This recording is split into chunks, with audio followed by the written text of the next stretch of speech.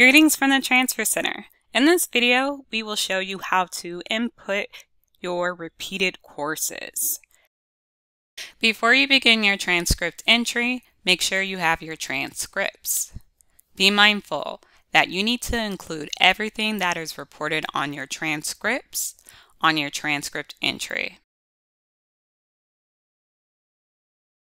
For the purpose of this video, we'll be using this information on the transcripts to show you an example of how you input your transcript entry for repeated courses. The information you'll need from your transcript is going to be the course code, the course title, grades, and credit. You know it's a repeated course if it has brackets near the credits and an R.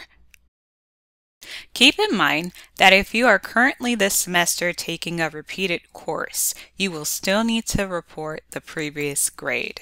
You will not be able to identify it as a repeated course until you have passed it successfully.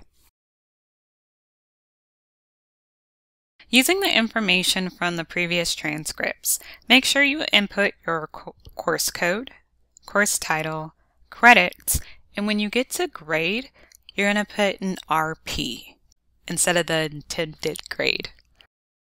And just a helpful tip, we recommend that you guys print out your transcripts and circle all your repeated courses.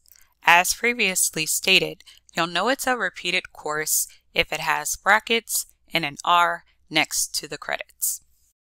And as always, if you have any additional questions or if you need help evaluating a transcript from a different school, feel free to reach out to a transfer counselor.